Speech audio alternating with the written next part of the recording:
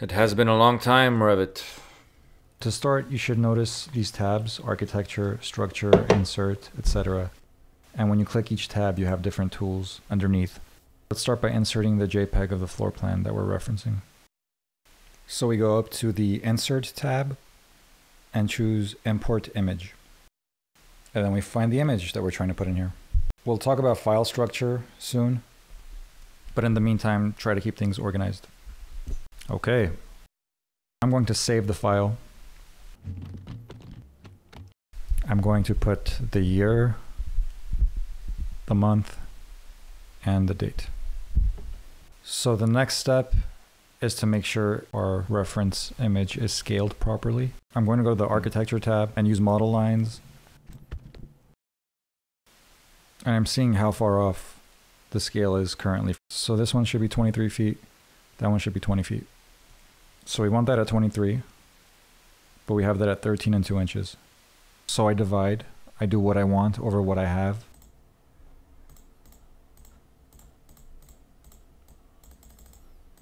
I get 1.747. So I go to modify and then the modify panel click scale. Select the elements to scale. I type in my number to do it numerically.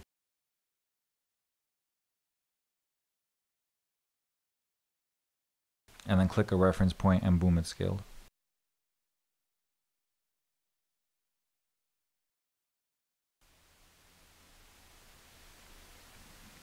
So this one is roughly 23 feet, and that should be 20. Yep, pretty close, is what I said at the time. Yep, pretty close. Now, besides the solid wall at the rear, these are all curtain walls. So we go to the architecture tab, choose wall, and then choose curtain wall. And let's start to define the plan of the Eames house in Revit.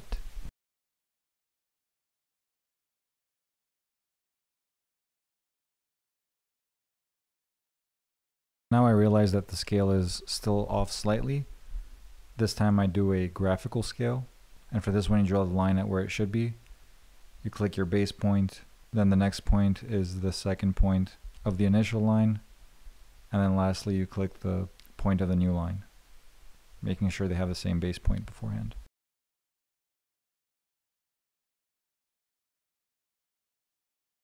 We can go to the View tab and click 3D View and see what we've made so far.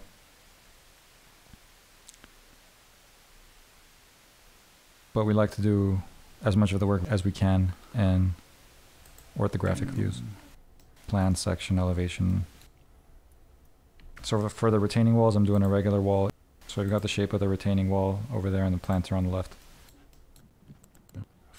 Bam. Now my elevation views are missing. If that's the case with you, you can go to the View tab, then the Create Panel Elevation drop down, choose Elevation, and then you place the cursor near a wall in the plan view and you click to place the elevation symbol.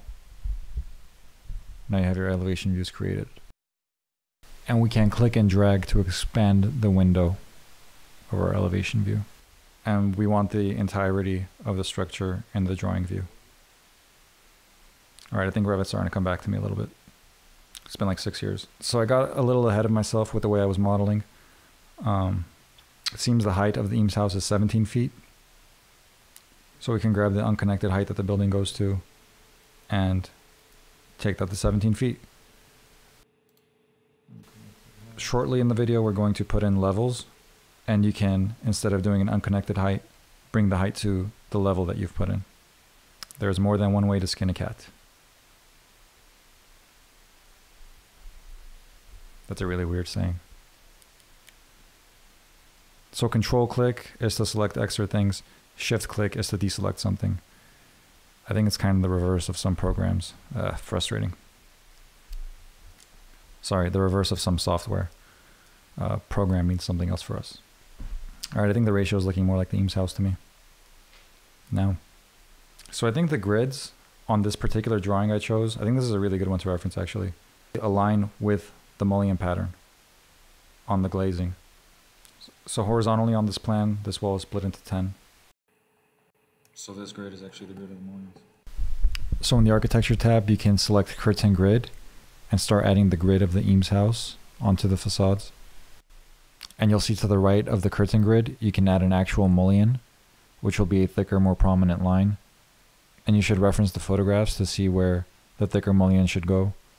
Um, I'm not going to take it to that level for speed to get this video out. But you guys should because that variation will make the model read much more nicely. And thinking about the overall design of the house, you will figure out where the thicker mullion is warranted and where you can get away with just the curtain grid. It would probably be a good idea to get your entire curtain grid on there before putting in your mullions.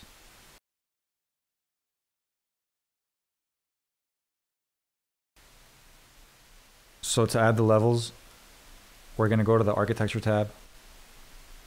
You might see datum, it'll be in there. And then click the level button. And this should be done in an elevation or section view, not plan or 3D. I believe the keyboard shortcut is LL. So you can type that instead of clicking the tool from the tab if you'd like. Now we're in draw mode and we can draw two points to create the level. And we want these to go horizontally, you know, be level and be parallel to each other. Which Revit does by default. I'm missing the drawn level head. Maybe it's because I'm using Revit LT. Hey, if you guys figure out why mine are missing, let me know. So I'm going to get the center point. Um, and I don't even know if this is how the house is proportioned. So use your reference images. Do your own investigative work. But I'm going to put a line in the center and use that to locate the second floor. And you guys can figure out what you're calling your levels, but just to let you know what I'm calling mine for now. So I'm doing a finished floor level, which is where the finished floor will be. I'm doing a bottom of the second floor slab level. I'm doing a second floor level, and I'm doing a top of I'm and I'm doing a ceiling level, and I'm doing a TOP or top of plate level, which is typically what we refer to as the highest point on residential construction even though that's used more on wood frame construction. And the Eames house is not your typical house. We have I-beams and trusses and curtain walls.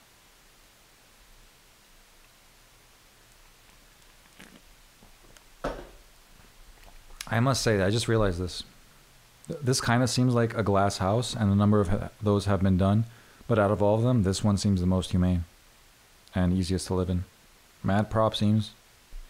There's the Mies van der Rohe, the, the Farnsworth house, which is obviously beautiful structure. And the Philip Johnson's glass house, which was kind of a copy of the Farnsworth house. You want to do ground or finished floor, bottom of slab, and then level two or second floor, and then maybe ceiling, and then roof level or you know if you want to keep the TOP nomenclature up to you. So I did this off camera. I put in the, the floor as one slab. If you want to do the interior and exterior separately, go right for it. You guys are probably going to give them separate material treatments eventually anyway. So might be a good idea to do them separately. So now I'm going to do level 2 and I'm going to follow this drawing. So to put in the floors, architecture tab, floor, architectural floor, and we draw the floor with the tools here. On the Eames house, the rectangle tool makes sense. And I'm extending the floor to the second line so it sits on top of the wall. That's it. Oh, and then the height of these. I'm going to control click to keep selecting them, to select all of them. And then connect these to the bottom of slab, which is the level they should end at. There we go. Now the roof. You guys should be getting the hang of this by now. Architecture tab, roof. Roof by footprint. So this is a flat roof, but a flat roof is never completely flat. You got to get the water off of it somehow. You don't want ponding on there. That would be a serious issue. I don't know how the slopes work on this house, but if the information is out there, you guys should find it and incorporate the slopes into the roof. And we can discuss that in class and figure that out together if, if we find that information.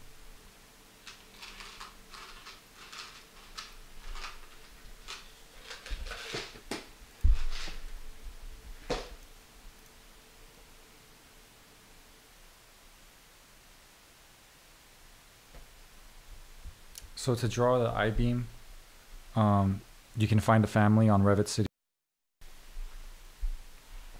So I'm doing the I-beam as an extrusion.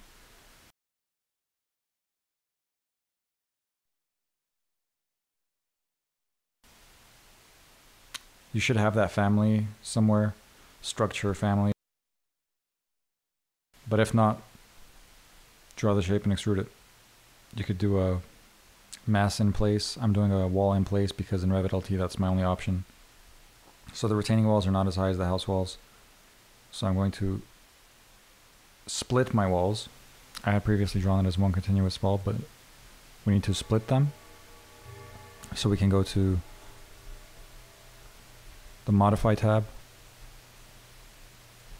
and the modify panel and we see split element and we could use that and then place the cursor on the wall where we want to split it and click.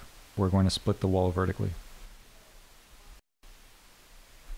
And then go to the properties on the left and change the top constraint to something that looks correct. And here the Eames house has a spiral stair.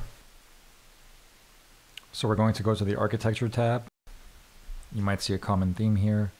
And then we're going to click stair and then do stair by component. And we're going to pick the full step spiral stair. By default, where you click is the center of the staircase and you drag to decide the radius. Now we need to cut out an opening so the people walking up the spiral staircase don't hit their heads. We click on the floor we want to edit, go to edit boundary, and we can use these tools to draw in the shape we'd like. I'm making this up be more accurate than I'm being right now. On the other side of the Eames house, we have a ladder. I'm modeling it as an extrusion. You can feel free to do that or or look for a Revit family.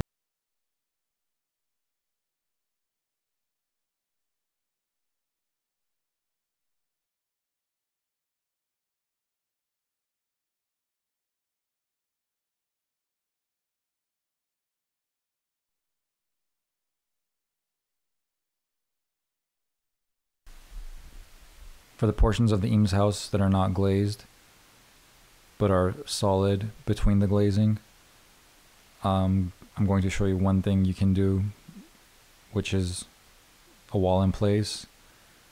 Um, you'd probably want to remove the mullion before doing this because as you see when you zoom out it still shows up so you can click the curtain wall or the mullion and go to add or remove segments and start removing segments that you'd like taken away.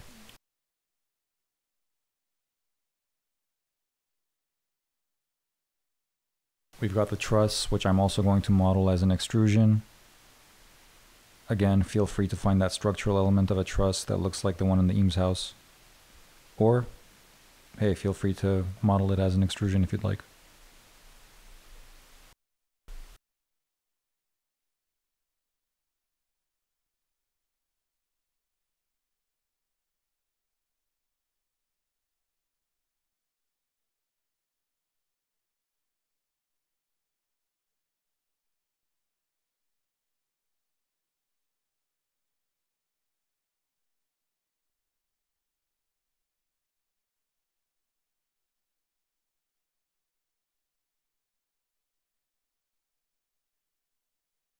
You may have noticed so far our 3D view has been in parallel, but we can also get it into perspective.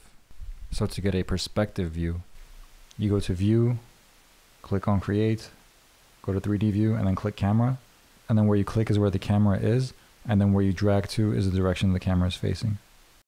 So we can make 3D views and again drag, click and drag to define the frame of the view.